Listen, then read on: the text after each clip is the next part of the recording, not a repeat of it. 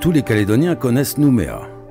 On connaît la place des Cocotiers, le quartier latin, la baie des Citrons, celle de l'Orphelinat, l'Ansvata, la vallée des Colons, le faubourg Blanchot, bref, Nouméa n'a pas de secret pour nous. Ou presque. Car Nouméa, ce n'est pas seulement de la grande histoire. C'est aussi une multitude de petites histoires. Alors en voici quelques-unes.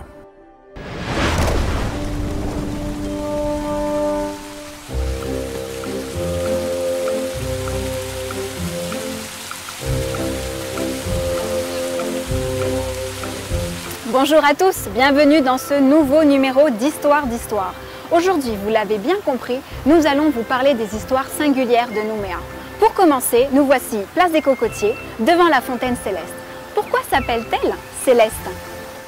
C'est tout simple, parce que la personne qui a servi de modèle à la statue s'appelait Céleste. Céleste Mohamed de Bouraï. Cette fontaine a aussi une fonction capitale pour la Nouvelle-Calédonie. Cette fonction, vous la connaissez peut-être peut-être pas. Nous allons aujourd'hui poser la question à des personnes. C'est parti Est-ce que vous savez à quoi elle sert euh, la fontaine céleste? Non. Non? Non? Monsieur, vous avez une idée? Même pas. Non? C'est esthétique? Non, c'est pas, pas trop. Oui. non, c'est quoi? Elle a une fonction, on va dire, euh, pratique? Pratique, pourquoi pratique? Pour les oiseaux? Euh, Non, pour euh, les automobilistes. Elle a une fonction, cette fontaine, par rapport euh, aux routes de Nouvelle-Calédonie. Enfin, c'est un point de repère. Donc c'est le point zéro de tous les, toutes les routes. C'est pour ça qu'on dit que 4e, 7e, 6e kilomètre, c'est par rapport à la, la fontaine. Ok. Ah, je savais pas. Ben voilà. Merci. euh. Alors c'est aussi le point de départ pour l'ensemble des routes de Nouvelle-Calédonie. Quand on dit que telle ville se trouve à 350 km, c'est à 350 km de la Fontaine Céleste à Nouméa. Ah bon Wow Ah oui, ben, j'apprends des trucs. C'est bon de savoir. Merci. Bon, vous l'avez compris, la Fontaine Céleste représente le point kilométrique zéro de la Nouvelle-Calédonie. À présent, cap sur l'ancien hôpital Gaston Bourré. Bonjour Thibault. Bonjour Emmanuel. Alors pourquoi ça s'appelle Nouméa? Alors l'histoire est un peu plus compliquée. Nouméa s'appelait pas Nouméa au départ, mais Port de France. Euh, tardivement Ravel, quand il arrive, il s'installe sur ce site qui a bien bougé depuis, mais qui lui a permis justement d'installer les civils et les militaires qui vont fo- fonder la ville. Donc c'est un fort dont on voit les murailles ici. Ensuite, euh, la, la ville changera de nom et ça deviendra euh, Nouméa parce qu'il y avait confusion avec la Martinique et Fort-de-France. Alors Nouméa, il y a plusieurs hypothèses. C'est à la fois peut-être une déformation de Djoubéa, Dumbéa, Djoubéa Capomé qu'on connaît, et c'est peut-être aussi Nou et Méa, l'île avec des poissons. Ça confirme bien qu'on était juste au bord de la mer. Exactement, il y avait de la mer partout. D'ailleurs, c'est un- des grands chantiers justement de l'installation de Nouméa. L'arasement de plusieurs buttes qui étaient une protection, mais qui étaient aussi euh, malheureusement euh, des, des freins au développement de la ville et également des remblais. Donc la ville s'est un peu aplatie finalement euh, avec son évolution, son, son développement. Donc si je comprends bien, Nouméa c'était une succession de, de flancs et de collines et aujourd'hui on a arasé tout ça pour combler, pour agrandir la ville.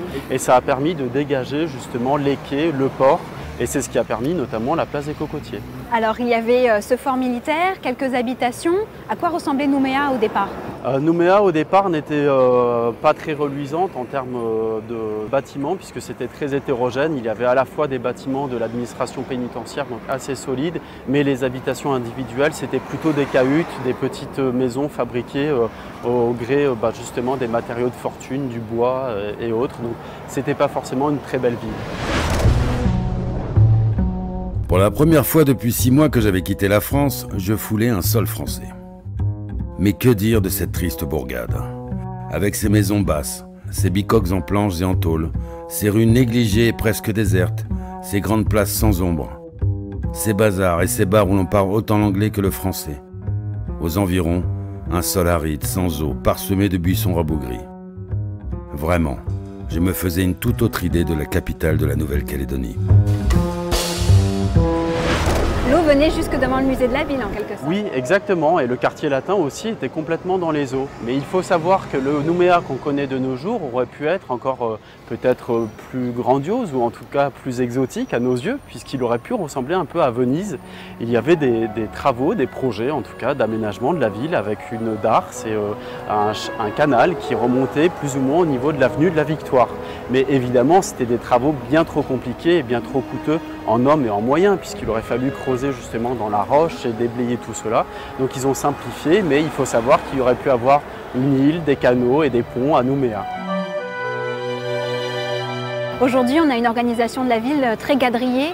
À qui on doit cette organisation C'est un schéma assez classique dans les villes coloniales et du Nouveau Monde, hein, puisqu'on le reconnaît à Sydney, euh, dans toutes les villes d'Amérique du Nord notamment, ou même à Papeete. C'est un plan donc, euh, justement à l'équerre qui rationalise finalement les déplacements pour les habitants et également pour euh, les forces de l'ordre. Pour maîtriser le territoire, c'est bien plus simple finalement d'aplanir et de quadriller.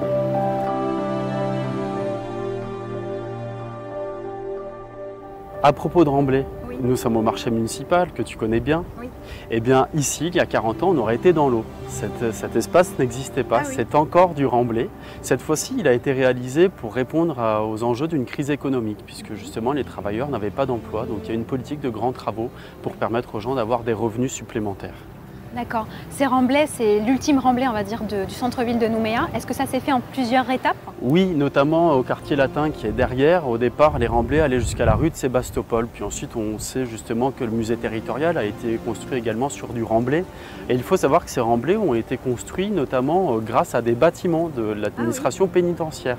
Le territoire voulait se débarrasser de cette image de, bagne et donc euh, certains bâtiments ont été détruits.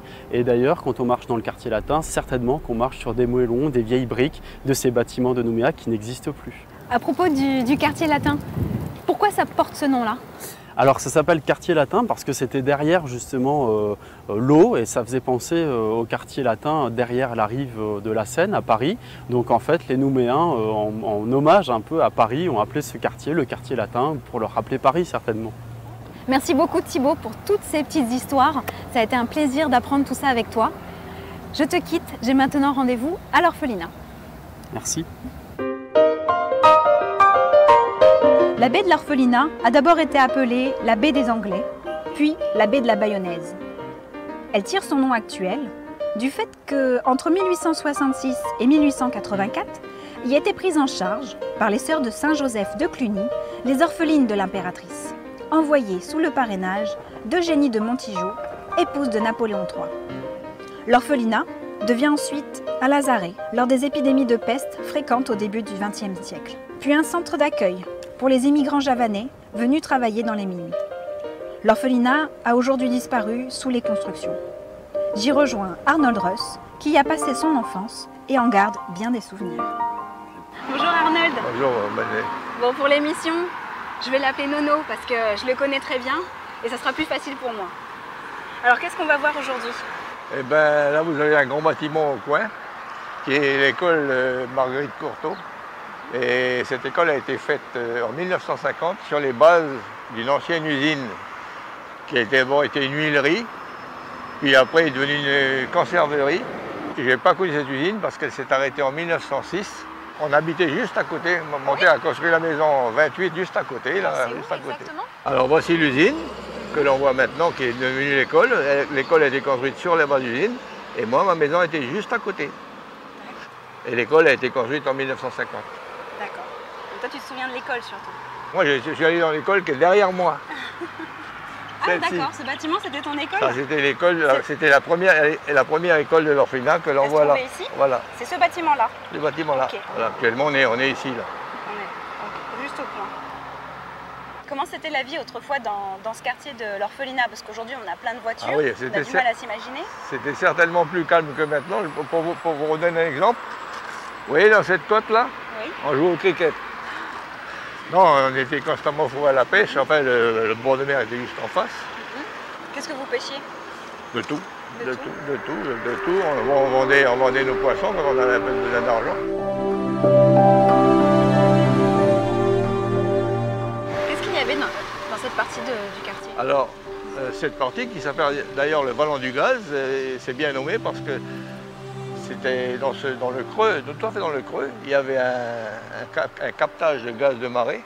Et c'était une usine à gaz, c'est l'usine à gaz qui alimentait tous les réverbères et quelques privilégiés à Nouméa, parce que c'est quand même assez cher. T'as pas, pas connu, toi, les, les trucs à gaz Ah, j'ai pas connu, les- j'ai pas, j'ai connu que la cloche toute rouillée, Oui. avec des trous où on allait, alors, c'était trop dangereux, on allait pêcher des grenouilles par les trous. Mais par contre, la maison était magnifique, c'était la seule maison du, du coin. Tout ce que vous voyez là, les maisons, ça n'existait pas. Il n'y avait aucun arbre, que de l'herbe. D'accord. À l'époque, le Bordelais, il y avait une belle plage ici en sable gris. Et il y avait énormément de grisettes. Des grisettes et des coquillages. Mais Ouais. Immangeables. Ah bah pourquoi? À cause du À gaz? cause du gaz. Mais déjà une sorte de on- pollution, On en revient en au truc de pollution, ça Ouais. ne gêne pas pour la reproduction. des- des- des- au contraire. Ils se mettent à pulluler, et puisqu'on ne peut on peut les- plus les manger, ça pullule, ça pullule, ça pullule. Puis ils les prendre, bien les mettre ailleurs, puis ça y est, c'est- terminé. Quelle était l'ambiance de l'époque? Ben, l'épo- à l'époque, comme je dis, c'était feutré parce qu'on ne connaissait rien d'autre que des copains de quartier, euh, aller faire un coup de pêche, euh, aller tirer quelques oiseaux bibiches. euh. Est-ce qu'on passait facilement d'un quartier à l'autre de Nouméa Ah, ça c'était un peu plus difficile. Nous, on était bien alliés avec la baie de la Moselle, mais c'était un peu plus dur d'aller au Trianon au Faubourg. Pourquoi? Ben, il y avait un peu la guerre des moutons. Il y avait une frontière. euh, Frontière à ne pas dépasser.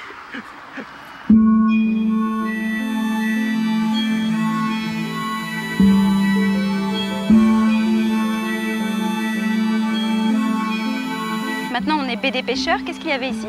Alors là, on se trouve devant l'ancienne cale de halage. Oui. Quel genre de bateau? Ben, euh, tous les petits bateaux locaux, bateaux Celui-là, là? Oui. C'est pas un petit bateau. hein?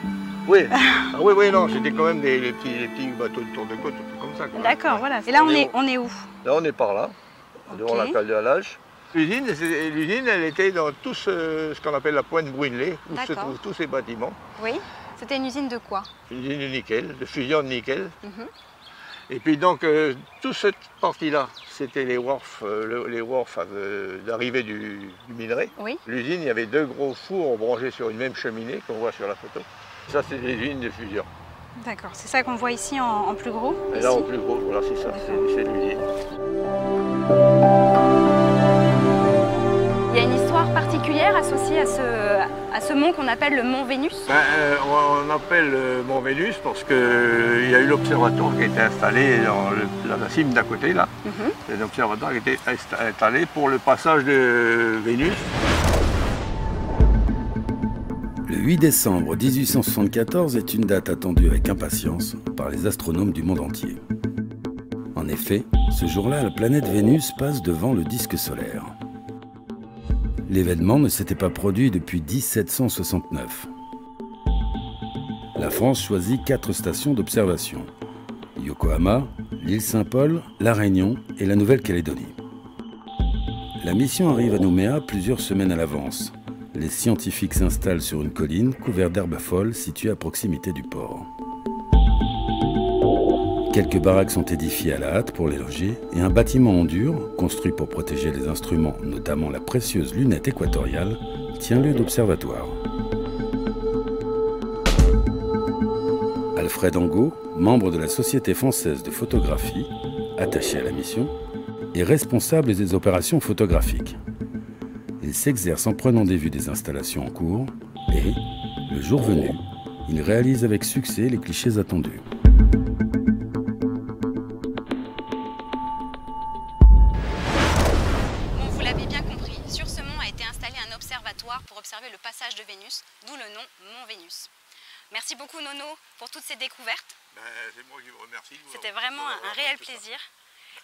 À la prochaine fois, j'espère. Pas de problème.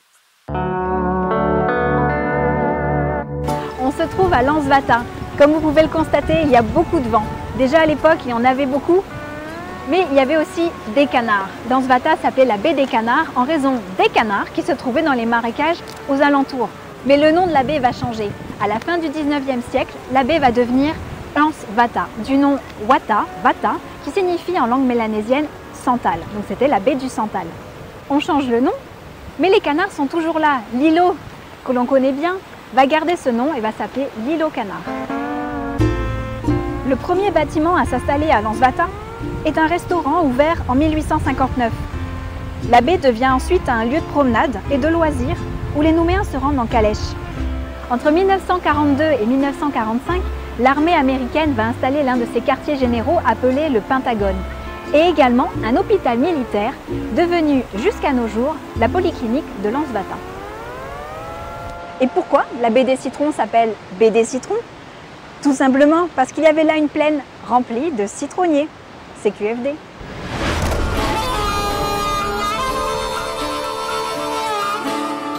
Ce quartier du Receiving est d'abord appelé Plaine des Batailles.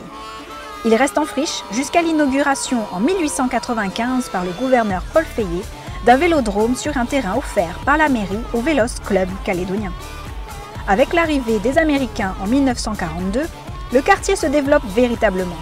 Les troupes de la Poppy Force y installent une base de l'US Navy associée à une chapelle et un théâtre-cinéma de plein air de 1500 places où vont se produire plusieurs stars américaines venues soutenir les troupes. On y trouve aussi une station radio, la Receiving Station, qui va donner son nom définitif au quartier du Receiving. Quant au quartier du Motorpool, comme pour le Receiving, il faut attendre la Seconde Guerre mondiale et la présence américaine pour voir cette zone commencer à être occupée. Elle sert ainsi à stocker et réparer les engins motorisés par l'armée américaine, d'où son nom de Motorpool. Il stationnait ici près de 2000 véhicules, dont les fameuses Jeeps. On trouve encore, ça et là, des anciens hangars en forme de demi-lune qui abritaient les ateliers d'entretien et de réparation, ainsi que les réserves de carburant. On se trouve ici, route du port des Pointes, pas très loin de Ngea, au Faubourg Blanchot. Derrière moi, difficile de se l'imaginer, mais autrefois se trouvaient des salines. Les salines, c'est le lieu où on produit le sel nécessaire à la consommation des Calédoniens. Le dernier propriétaire en date s'appelait Monsieur Okada. Monsieur Okada est un nom bien connu des Calédoniens et il a eu une histoire un peu particulière au moment de la Seconde Guerre mondiale. Les Américains, à leur arrivée, emprisonnent la plupart des ressortissants japonais. Ce n'est pas le cas de M. Okada, qui, en raison de son activité économique importante pour la colonie, va être enfermé chez lui, ici, à côté des Salines, tandis que ses filles vont être accompagnées tous les jours sous bonne escorte jusqu'à leur école.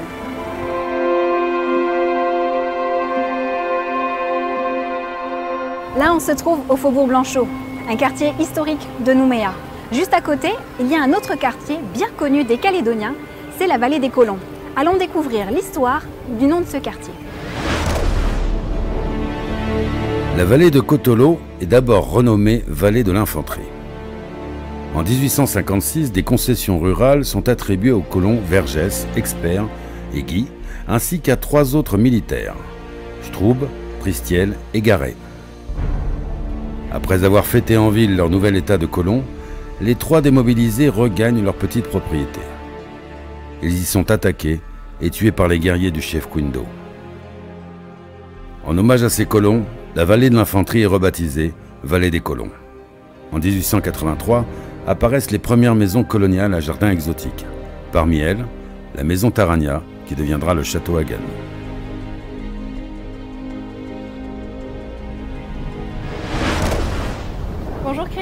Bonjour Emmanuel, merci de me recevoir aujourd'hui. avec grand plaisir. Nous allons parler du château Egen et de son domaine, mais avant, parlons de la maison Tarania.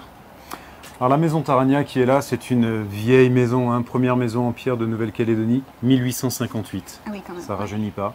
Euh, cette maison, on la doit à Pierre Canel. Pierre Canel, c'était un briquetier et il avait eu le domaine en concession, donc en 1858. Et euh, je ne sais pas s'il était un peu fou ou visionnaire, mais en tout cas, il avait une utopie. Il voulait faire de ce domaine un, un château. Et euh, on le voit sur un pavement historique qu'on a découvert. C'est un pavement en pavé de rivière sur lequel on voit à la brique l'inscription Château Canel Pierre. C'est quand même une pièce remarquable. Oui. Et c'était caché sous, sous quoi? Quand Canel a fait construire la maison, donc il y avait vraiment ce pavement qui lui servait de terrasse. Quand Jean Taragna, deuxième propriétaire, a acheté euh, la maison, lui, Oui. il a fait recouvrir l'intérieur de la maison et cette terrasse, Bah justement, de tomates comme celle-ci. Oui. Et bien des années après, quand la province a racheté le château Mhm. et qu'on a voulu entreprendre des travaux, cette terrasse, les tomates étaient un peu cassées. Et quand on les a retirées, on a découvert ce pavement. Bien sûr, on ne savait pas du tout qu'il y avait ça en dessous. euh, c'était une grande surprise, découverte. le- C'était ouais. vraiment fabuleux. Parce que c'est vraiment un témoignage du passé très fort. Alors pourquoi voulait-il vraiment l'appeler château? Je ne sais pas, euh, il avait peut-être un rêve quelque part par rapport à la métropole ou autre. En tout cas, euh, pour la Nouvelle-Calédonie, quelque part, ça peut s'entendre, même si le bâtiment dont on va parler après euh, a encore cette appellation château, même si c'est plus un gros manoir finalement. Bon, l'utopie est restée et finalement ça va bien, puisqu'aujourd'hui le domaine est bien connu comme étant Château Hagen dans son ensemble. Tu m'as dit que la maison a été construite en 1858. Oui.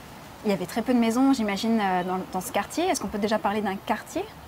Ah, je ne sais pas si en 1858 on pouvait appeler ça un quartier, c'était la vallée de l'infanterie avant d'être la vallée euh, des colons. Et cette maison, elle trônait sur la colline parce qu'aujourd'hui on a effectivement un visage, euh, un paysage rempli de bâtiments, des anciens, des nouveaux. On a l'église Saint-Jean-Baptiste qui est juste en face. Mais à l'époque, il n'y avait rien. C'était un peu isolé, hein. c'était loin d'ailleurs du centre-ville. Aujourd'hui, ça nous paraît très proche, on y est en 5-10 minutes à pied, alors qu'à l'époque, ça paraissait loin. Donc c'est- on peut dire que c'est une des premières maisons en dur? C'est une des premières maisons en pierre de Nouvelle-Calédonie, ouais. Si ce n'est la première, peut-être. Oui. On va, la, vi- on va la visiter? On y va? Allez.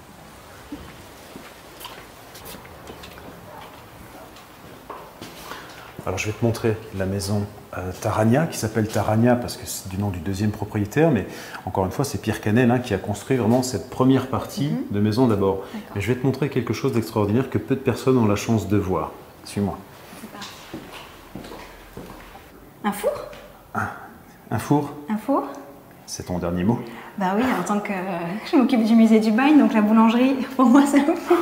Tu vas me dire que c'est pas ça on peut mettre du feu dedans, Ok, mais c'est oui. pas un four, c'est une machine à laver. Déjà Le, le confort a bien changé hein, maintenant. hein. T'imagines si on avait encore des machines à laver comme ça? En fait, le principe était assez simple. hein. Donc, elle est construite en, en briques, hein, comme Oui. on peut le voir. Euh, Il y a une petite niche ici. On faisait passer le bois. Évidemment, on Mhm. Mhm. mettait des petites bûches de bois, on allumait le feu. Et puis, on venait mettre dessus la grande marmite, l'eau bouillait. Et on venait Et laver le linge à l'intérieur. Et la fumée donc partait par un conduit qui est là pour s'échapper, une cheminée quoi, tout simplement. Donc c'est une machine à laver. Donc euh, les domestiques lavaient le linge comme ça et après ils venaient le frapper sur le lavoir qui est là pour finir de le, de le laver. D'accord. Donc là Emmanuel, on est dans la pièce historique où vivait Pierre Canel. Il n'avait qu'une seule pièce pour lui tout seul euh, qu'on a euh, réaménagée aujourd'hui. Euh, donc c'était assez petit et à l'origine il y avait une briqueterie. Pierre Canel, Dans sa maison. finalement ça tombait bien, Oui. qui était briquetier de son état, Oui. s'est servi en fait de cette ancienne briqueterie, de cet ancien four, pour construire sa maison, sa pièce unique en fait. Mhm. Et euh, la partie qui est à l'arrière, on la doit à Jean Tarania, donc le deuxième propriétaire, qui quand il a acheté le domaine, a voulu agrandir cette maison. Oui. Donc cette pièce principale servait de pièce de vie, et à l'arrière, il avait construit deux chambres pour ses enfants. Et aujourd'hui, ben, cette maison euh, Tarania, nous, on l'a destinée à un atelier d'artiste.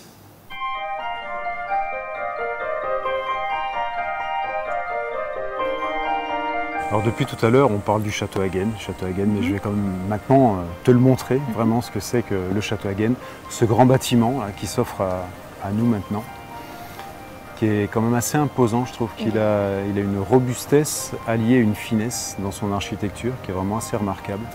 Et aujourd'hui, bon, il s'est un petit peu perdu dans, euh, dans l'environnement, euh, l'habitat, les constructions. Mais à l'époque, quand on regarde des, des photos anciennes, euh, il trône vraiment. C'est vraiment une majesté hein, dans, son, dans son environnement, ce château.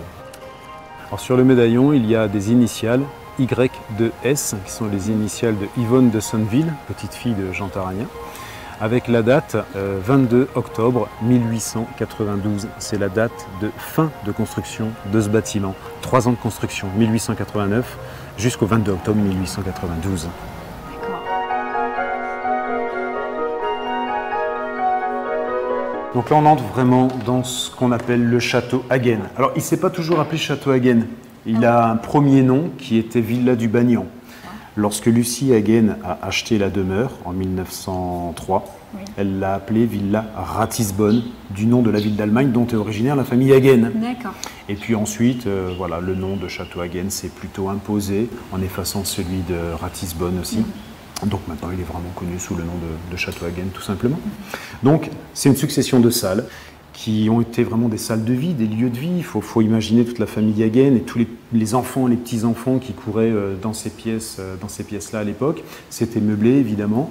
Euh, maintenant, c'est transformé en salle d'exposition. On a huit expositions à l'année, euh, que ce soit de peinture, de sculpture, etc. Mais ce sont des pièces. Je t'invite à voir les pièces si tu veux. Ouais. Donc là, dans ces pièces principales, c'était les salons, c'était les lieux d'accueil, euh, voilà, qui étaient facilement ouverts, hein, avec euh, une- l'entrée principale devant, l'entrée euh, arrière qui permettait de ventiler aussi euh, la pièce. Non, c'était vraiment les pièces de vie principales qui conduisent à l'arrière sur une véranda fermée avec une vue magnifique sur l'arrière du parc et donc cette fameuse euh, baie de Sainte-Marie. euh, qu'on apercevait, qu'on voit moins maintenant à cause Oui. de toutes les constructions, mais Et la on pouvait imaginer voir, voir la mer euh, là-bas. Alors voilà la fameuse tapisserie. D'où vient-elle? D'Aubusson. C'est pas une blague. hein. en fait, euh, Martial euh, Danton, qui est donc le, tout dernier propriétaire en fait du lieu, et étant originaire lui d'Aubusson, on lui doit d'avoir fait venir cette magnifique tapisserie euh, qu'on appelle une verdure. Donc on voit très bien la verdure par rapport au décor même. On aperçoit le clocher euh, au fond et tous les petits détails. Juste pour rappeler que Aubusson, c'est un village du sud-ouest euh, de la France. En tout cas, on a des tapisseries qui datent du 16e, 17e siècle. Donc, euh, ce sont des, des- des- des- des tapisseries qui sont plus que centenaires, tricentenaires. Est-ce qu'on a d'autres tapisseries comme celle-ci en Nouvelle-Calédonie? Je ne pense pas.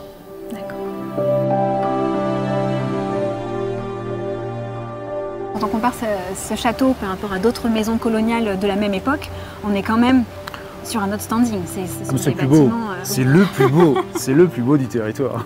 La plus belle demeure. et ouverts au public.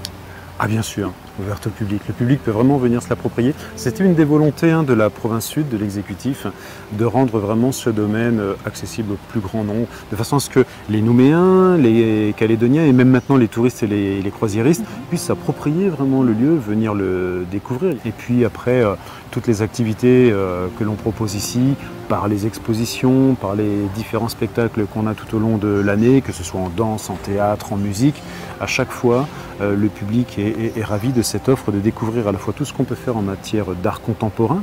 J'associe dans l'art contemporain la danse, la musique Oui. et le théâtre. Euh, et ce lieu historique, c'est vraiment un syncrétisme culturel extraordinaire. Oui. Ah, je ne suis pas très objectif, mais euh, parce que forcément je dirige le lieu, donc je ne suis pas objectif. mais en même temps, quand je vois le sourire euh, sur le visage des, des gens, quelles que soient euh, leurs ethnies, quelles que soient leurs conditions sociales, leur âge, Mhm. euh, on est content finalement que ce bâtiment revive grâce à ce public qu'il fréquente.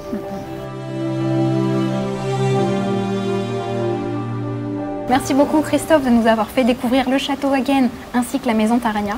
Ah mais je suis très content de t'avoir fait découvrir ce, ce lieu. Tu fais bien de citer la maison Tarania parce que parfois les gens me demandent si j'habite justement dans cette petite maison, si c'est la mienne. Non, Ça serait très sympa quand même. en tout cas, merci beaucoup. merci à toi.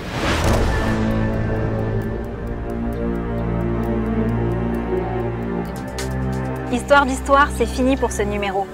J'espère que vous avez apprécié autant que moi cette découverte des petites histoires de Nouméa. Merci à toutes les personnes qui nous ont rejoints et qui ont partagé avec nous leurs histoires singulières. Vous pouvez encore les partager avec nous sur notre page Facebook. À la prochaine!